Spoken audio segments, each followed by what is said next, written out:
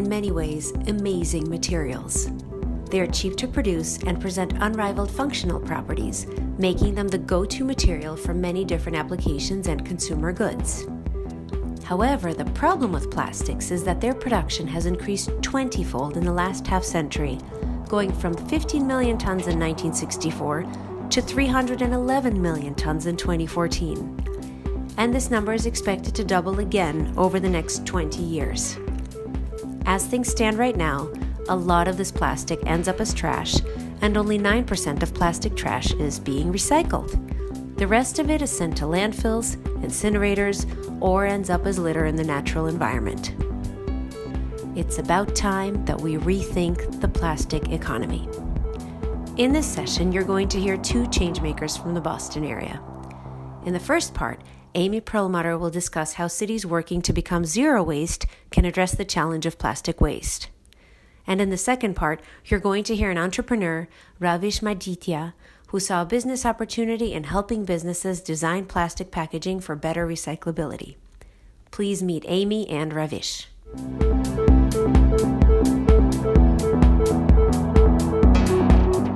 Hi, my name is Amy Perlmutter, and I'm a consultant in Cambridge, Massachusetts, and my practice involves stakeholder engagement and strategy and project management all around um, green technology. So, uh, zero waste and green chemistry are the two areas that I work in. And my passion is trying to create partnerships and create, uh, encourage enterprises um, that make the world a better place so that reduce our footprint on the planet.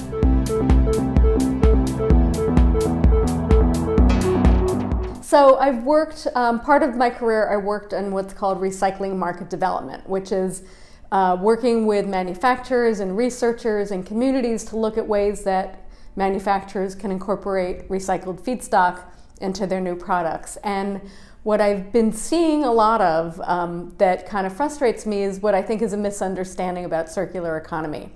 And that that kind of market development work is what circular economy is, when in fact, um, that's really kind of end of pipe working with the to incorporate recycled um, feedstocks. It's taking stuff that's already gone through the consumer cycle and has been discarded in recycling bins and putting it in. When circular economy to me is really focused more on prevention. So it's how to, it starts at the design phase, it starts with the manufacturers, and how do we design products in a way that can be less wasteful. And then um, once that's done, then we look at how it flows through the economy and can be put back into the product.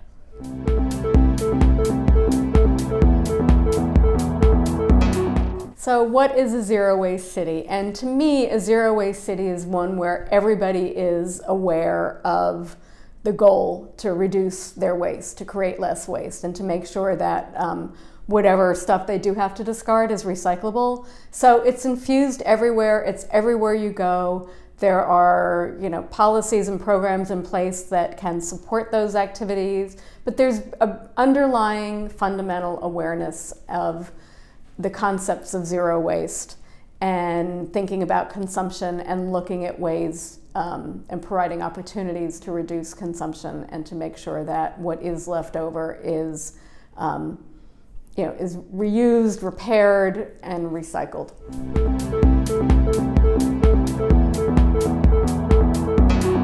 So one of the challenges that zero waste cities are facing is the the what to do about plastics. There's a huge increase in plastics, and and they become so cheap that we just we take these um, we take these products that you know come from fossil fuels and we use them for all of a couple of seconds and we think nothing about throwing them away. And i feel i fear that this is going to get even worse because new uh, with cheap natural gas new plastics capacity is coming online, and uh, the number I've heard is that the, there's going to be a 50% increase in capacity to make new plastics over the next 10 years. So, what are those plastics being used for? You know, are they for durable goods? Are they for disposable goods? And how can cities really look at sort of stemming that tide before it happens rather than dealing with them all after they become litter and waste and clog our landfills and our seas?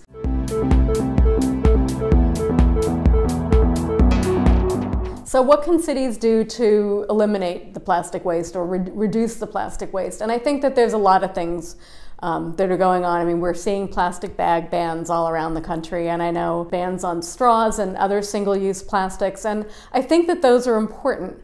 Um, I think we need to look at, you know, just again, to be thinking about materials. We don't think enough about materials and look at how we can. Um, how we, we can create carrots and sticks to, to to, to, change things. And I think we have to bring the public along in this and make them understand the impacts of these things. And we really need to be thinking about creating a cleaner plastic stream for recycling as well.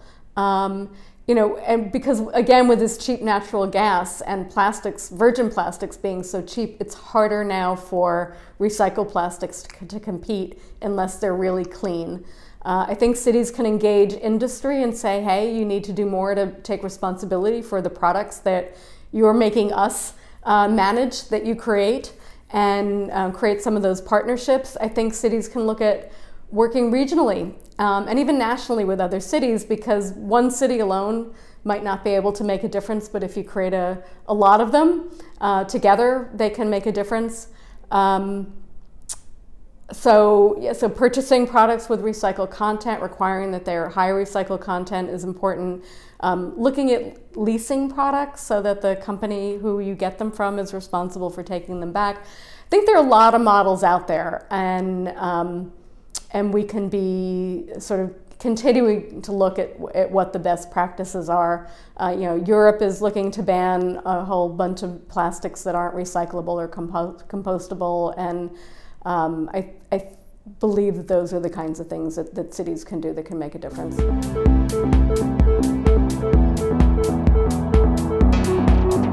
So I know there's a lot of um, a lot of interest in moving to a bioeconomy and bioplastics and bio-based plastics, and um, there's a difference between bioplastics and bio-based plastics that I want to just sort of explain first. So bio-based plastics are plastics that are made from plant materials, bio-based materials. And a lot of people think that just because they're made from biomaterials that they're biodegradable.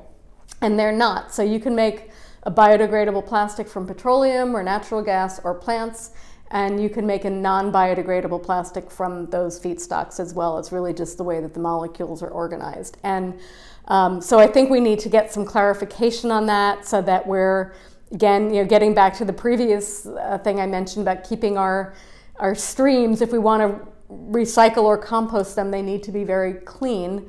Um, we need to make sure those things are separated because the biodegradable plastics can contaminate the non-biodegradable plastics. And so, you know, there's a lot of confusion about different kinds of resins and you know, there's just so much confusion about all of this and I think we need to settle it. And I think we also really need to look at our plant-based plastics um, that much better, um, our biodegradable plastics that much better, because I know that around here, people are excited about using biodegradable plastic, but then they put it in the garbage. And so what good does that do? And, um, or, and if that garbage goes to a landfill, it can create more methane, which is a problem. Um, I, the compost facilities here don't want the biodegradable plastics, and the anaerobic digestion facilities don't want the biodegradable plastics. So, what are, if we're going to use biodegradable plastics, what are the best uses of them? And to me, you know, I think we should look at what are the kinds of things that are highly littered and can biodegradable plastics be used there? And, you know, even um, maybe for cigarette filters, because nobody everybody thinks it's okay now. Some, something happened over the course of the years where people think it's okay to leave their cigarette butts on the ground, and maybe that would be a great use of biodegradable plastic. So we need to, I think, really think strategically about what's the best place for them, and then again, government can create um, signals in the marketplace that you know these are the things that we think are important.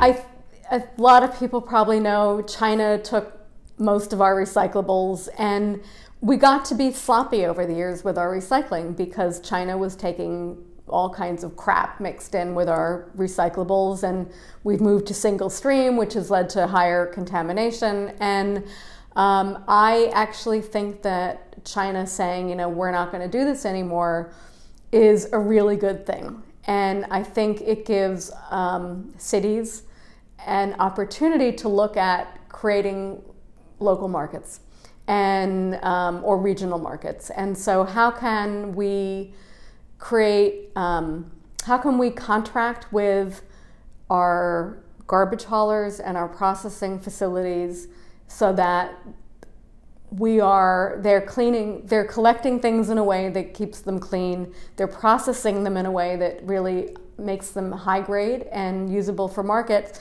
And then we can use our economic work with our economic development offices to try to attract businesses to the city that can utilize these materials or work regionally and attract them and use it. And i think you know, if we can get even small scale businesses, and they don't have to be a big glass plant, they can be maybe somebody who makes glass tiles or some other product out of glass. And same thing, we don't necessarily need a big paper mill, but are there other uses of paper where we can think differently um, and and really attract some small businesses and then use our contracting power for the curbside recyclable materials to move those materials that are collected in the community to the new businesses that we have and keep that, that materials flow within the community.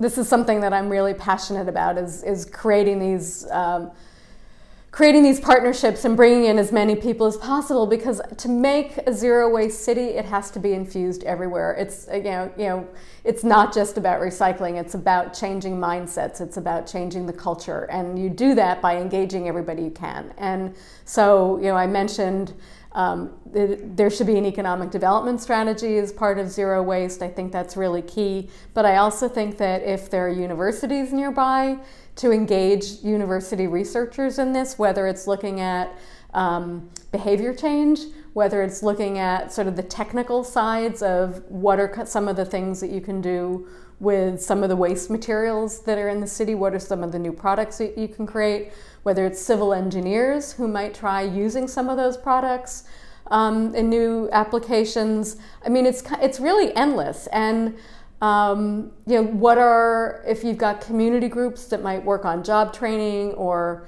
helping immigrants or, you know, people with disabilities, you know, what are the ways that you can bring them in to create small enterprises? And again, we don't need to have these big enter businesses that use everything. What are some of the small enterprises? Could they be making you know rugs out of old rags and and you know discarded textiles? Could they be making um, handmade paper products that could be sold in a local store? So really thinking you know kind of small is beautiful. That that could work too.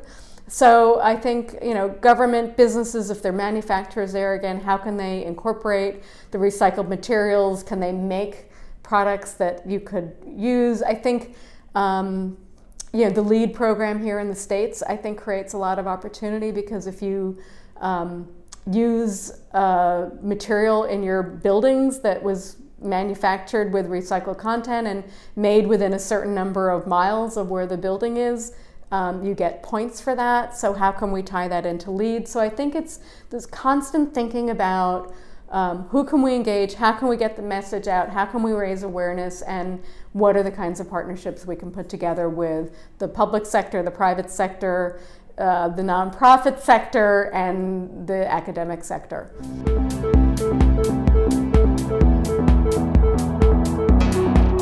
So, my closing message would be that I think we can't wait for government to tell us what to do and that we need to take responsibility for the materials that we generate, the waste that we create, and also think about that we're on a planet with finite resources.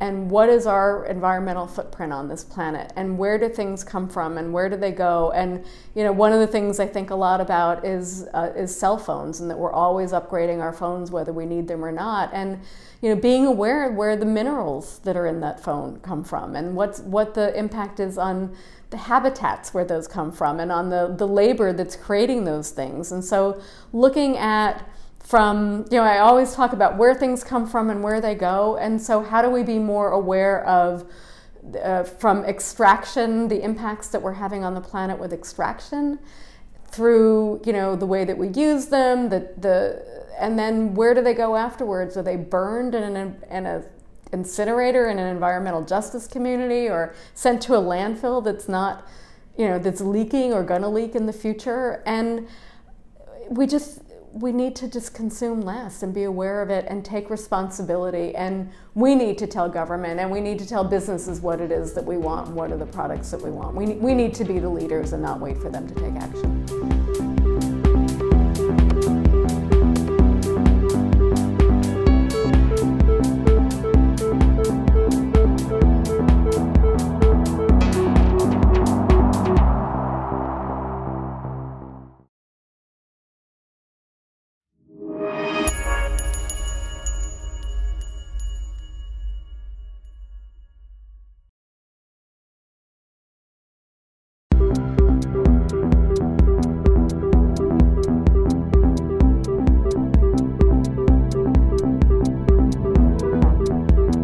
Hey, my name is Ravish Majithia and I'm the founder and CEO of Magnomer. We at Magnomer are trying to solve the problem of bottle recyclability. Did you know that in the US, less than 2% of all bottles collected are recycled back to bottles? The problem is the label itself. Labels are made of a different polymer type and need to be separated during the recycle process. We at Magnomer have a design to recycle. At Magnomer, we have designed a magnetic coating which can be directly printed onto the bottle label. Our coating means that recyclers can now magnetically attract the label away from the bottle, leaving behind higher quality plastic and lower contamination. At Magnomer, we are on a mission to make recycling attractive.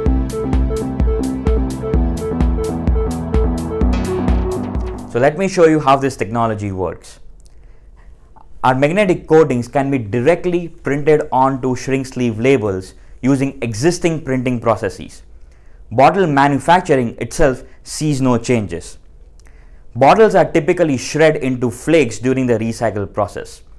It is in this flake form where Magnomer's magnetic coatings enable sortation and separation away leading to lower contamination as you can see in this demo, a magnetic pulley pulls away the blue coated label flake, leaving behind higher quality clear PET flake which can now be melted back into bottles.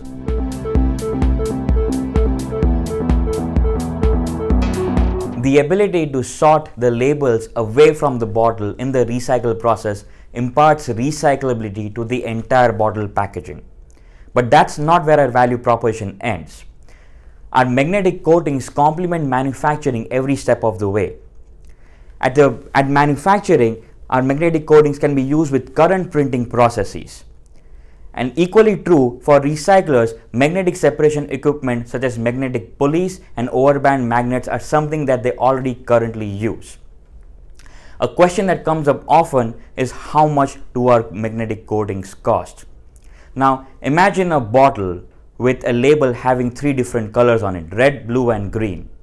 Our magnetic coatings are cost equivalent to adding a fourth, say a white color, onto the bottle label and printing process.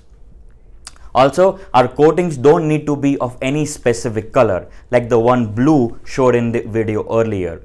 They can be uh, of a different color or they can be transparent to the human eye, not uh, affecting brand artwork or impacting any brand design. Our coatings importantly meet food safety regulations which are needed by the US FDA and similar European agencies.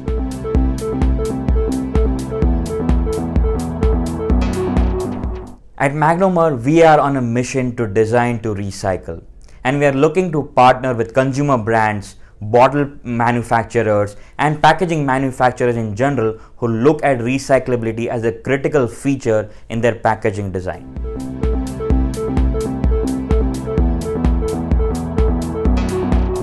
Magnomer is a startup with a big mission. Our biggest roadblock is working with major Fortune 500 companies who are looking at sustainability and are looking at innovations in this space. We are trying to make ourselves visible and make ourselves heard and provide a solution for major consumer brands who see sustainability in packaging as their focus.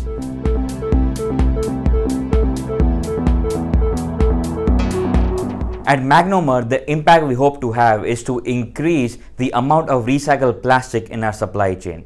In the US alone, we can increase the amount of recycled plastic used in bottle packaging by 500,000 tons. That is equivalent to one and a quarter million tons of CO2 each year. To put that number in perspective, that is about a quarter of billion cars taken off US roads every year or about 70,000 dump trucks worth of garbage that will be recycled instead of going to landfills. So you can find out more about us on magnomer.com. Thanks for listening.